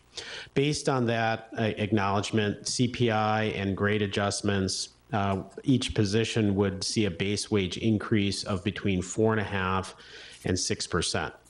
Uh, Backing up then to those wage adjustments based on 2023 wages, um, When we put this matrix together, we did so early in 2022. Village Board adopted the matrix at a similar time period in calendar year as you are reviewing the proposed changes today in an effort to help us prepare for the 2023 budget.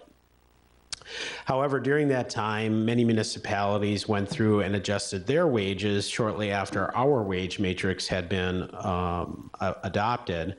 And due to high inflation and uh, volatile labor markets, some of those increases were pretty substantial in other municipalities, anywhere from 5 to, to 8%.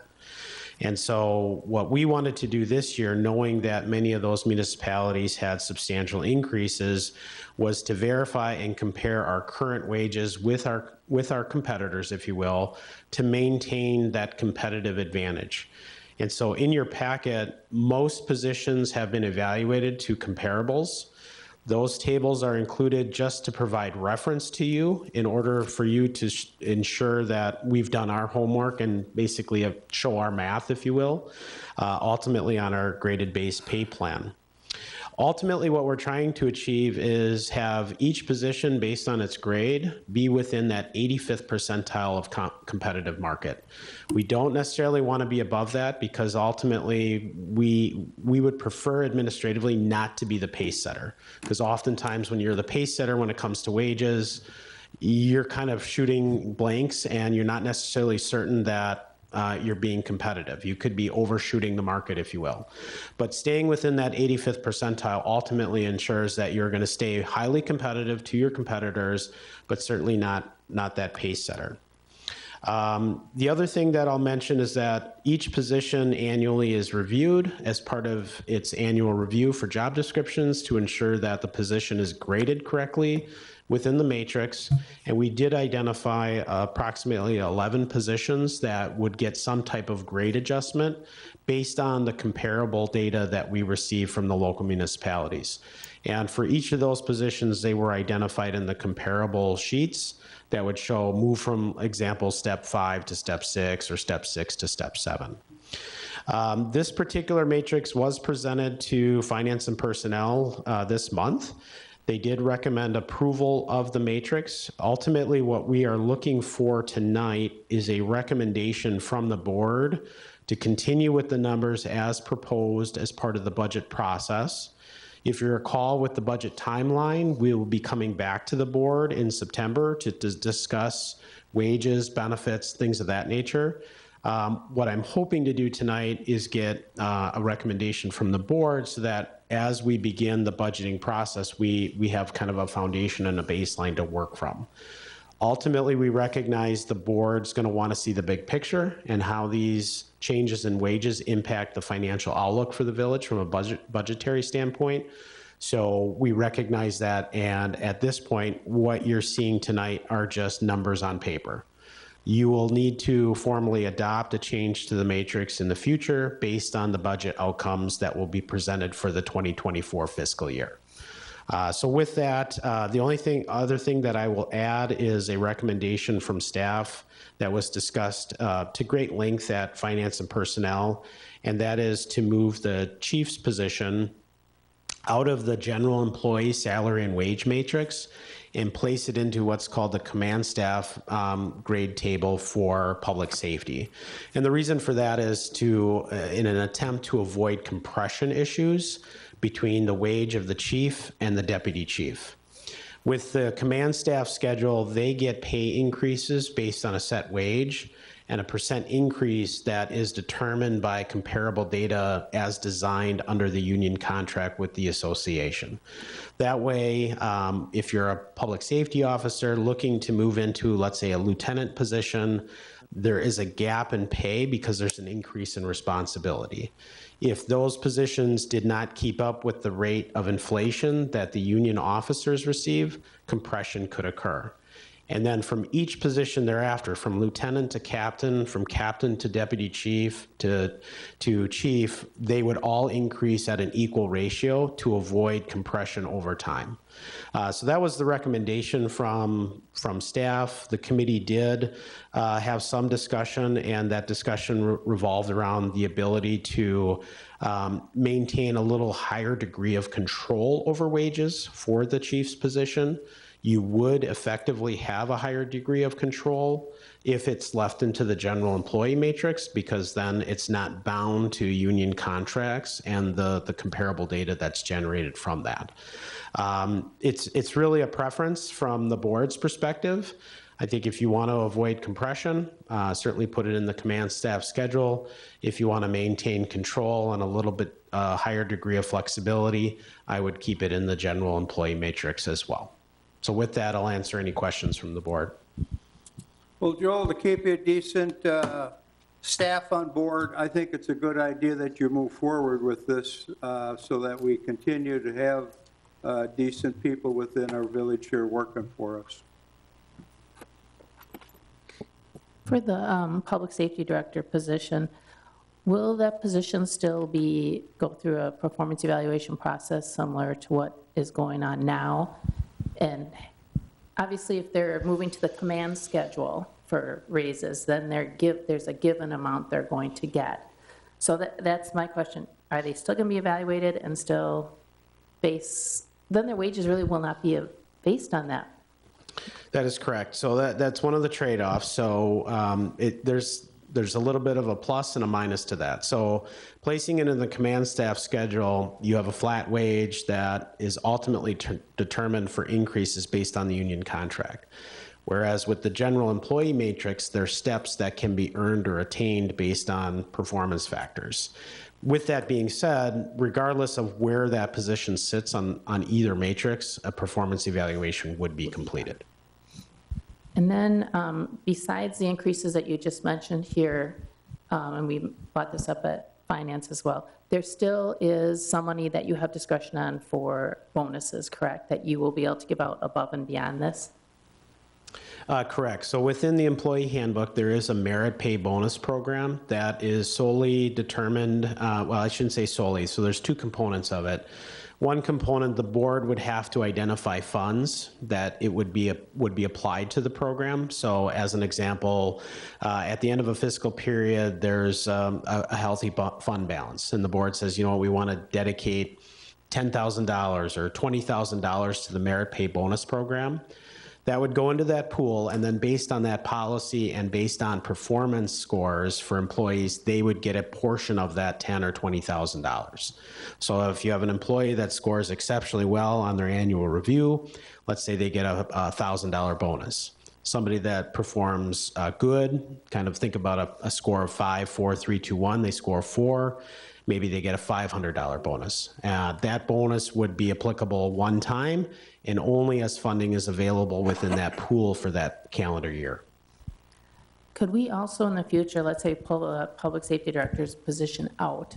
Could it be put back into the general categories again?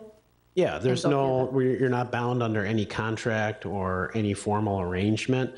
Um, The only thing that would prohibit you from doing that is if you entered into, let's say, a separate employment agreement with the public safety chief or the chief of public safety. Um, So yeah, you, you would still maintain that discretion.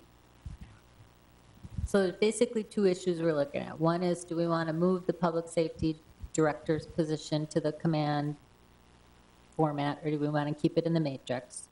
And I kind of feel like, I, I would rather keep it in the matrix because we have more flexibility, because what if he's super high performing and we want to give him more than he would have gotten under the standard increase from the union or whatever? We can't. If he just is in that command structure, I mean, we could do a bonus. But I, I like keeping that position in the matrix so that we have more control, basically. Um, The other part where it's the 11 positions that you're adjusting the matrix, basically, I was concerned during the finance committee meeting because I felt like we just created this matrix and now we're already adjusting the matrix. It felt somehow a little wonky to me, but I understand now that if you had the data that you got later, when we made the matrix, we wouldn't be making this adjustment now. The matrix would have been bumped up from the beginning, right? That, that is correct. So Just wages were extremely volatile last year with inflation, correct? Right. So now I, I to- I totally, uh, I'm totally on board with the 3% cost of living. I'm on board with the adjusting the numbers because of the data we got. But I, I would I would keep the public safety director in the matrix. You know, I have mixed feelings on the public safety director's position as well, um, but I'm concerned about compression too. Um, You know, we want to be able to get a chief We can handle the compression with to a certain extent, how but we pay him in the matrix, though. You could, to a certain extent, but like Joel was mentioning, when you have them looked at in a totally separate way, you know, the command, the rest of the command staff is handled this way, and then the chief is handled this way, there is a chance that you can get some compression. And the chief isn't getting the raises as much as his command staff is. So that's my concern with not, you know, with not allowing them to go to the command schedule. I think if we're cognizant of it, it's never going to happen because we know we're, we're watching for that. You know what I mean? Yeah. I guess the question I have is, is the compression um, controlled by a percentage or a number? Like, are you saying this position has to be a certain percentage higher than the position below it? Or is it like number, like it has to be 3,000 more or 5,000 more or? Sure, I, I think it depends on uh, two factors. So the initial setup, so how, how we would set it up at the onset of if we were to move that position to the command staff schedule would base, be based on a flat dollar amount over and above the deputy chief position. That's how it's set up right now when you differentiate between lieutenants, captains, commander, deputy chief. So it'd be a flat dollar amount.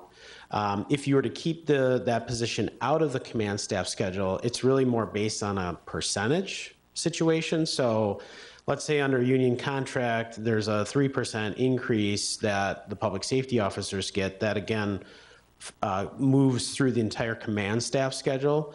But let's say the board adopts a 2% cost of living increase to the matrix, and that happens over a successive number of years where command staff or officer staff get a larger increase based on comparables, but village board adopts a 2% increase over a period of time, and the general staff, you could get that, that creeper, that compression between predominantly that deputy chief position and the chief position. And that's what, what you're ultimately trying to avoid.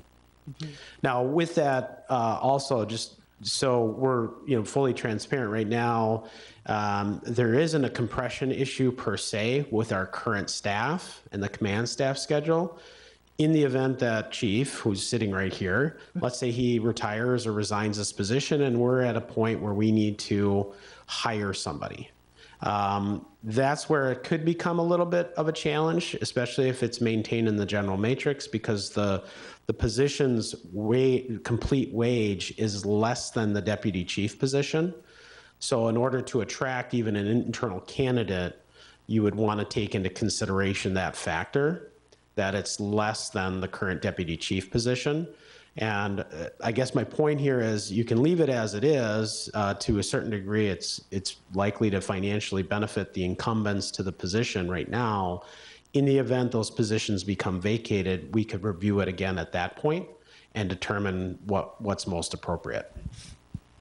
Can't you kind of control that, though, by where you enter them into the matrix? Like, put them out of this step instead of that step, or, you know what I mean?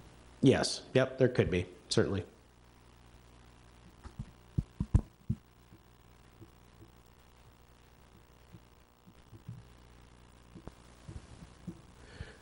I, I guess for me, I would probably put him in the matrix, because we can always watch it. I mean, we're,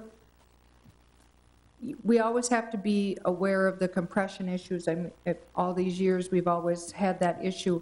I think the compression issue happens a lot more between the um, lieutenants and captains. And, and it- as long as we're aware of that upper tier, I, I think that we can be aware of it and, and control it that way. Well, and it'll be adjusted every year through the market, correct? So we'll look at it every year, just like we're doing at these uh, 11 positions that we're changing, so it'll adjust that way as well. Correct. Correct. So I would put them in the matrix. And just as a reference, so that in the packet, the position is not included in the graded scale, but based on last year, when we did the position analysis, the chief of public safety would grade out at a pay grade 14, just to give you a reference at this point. Um, again, with the incumbents in place right now, there would not be a compression issue. That compression issue would likely only occur if somebody were to vacate the position, and at that point. So if, if it's agreeable to the board, I guess I, I would recommend just maintain the matrix as it is with the chief currently in the matrix. We would plan for that budgetarily wise. Uh, and then at some point, if there's a, a discussion to be had or a recommendation from the board to change that, um, then I, you know, we can certainly bring that back and make that change. Okay, I'd make a motion to reme- recommend to staff to use the proposed 2024 salary and wage grade matrix, adjusted as presented to draft the 2024 budget, and leaving the public safety director position in the general matrix. matrix. Second. Okay, we have a motion and a second to recommend the draft 2024 salary and wage grade matrix and also to put the chief position in the matrix. Everybody understand? All those in favor say aye. Aye.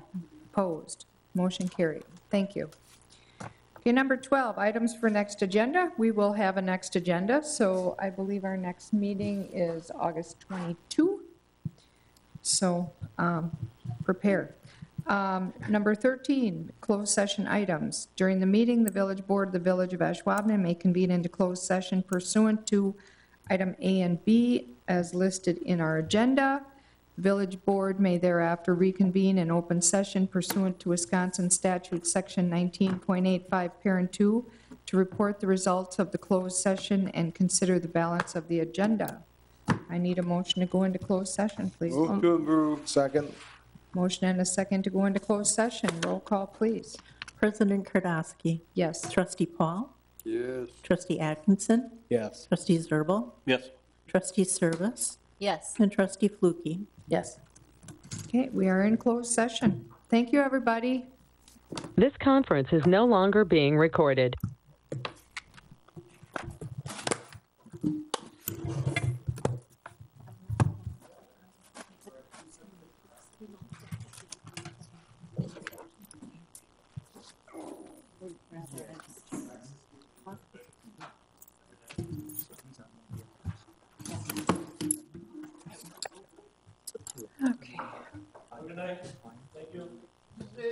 Thanks, Chief.